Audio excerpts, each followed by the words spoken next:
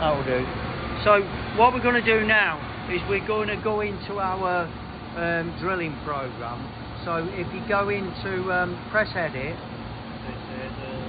yeah, and press your program management button, yeah, and um, that says drill there, so that that's going to be it. Enter.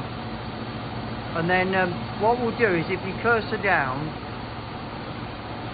and then yeah, Danny, Danny, uh, be on the line as well. right above it, so Above it. it'll put whatever you put in below that. Right. So if we now put there tool def, so press uh, tool def down there. Can you see that button down there? Tool def. Alright. Cycle def. Tool def. Yeah. And um, we're going to call it tool number two. Enter that.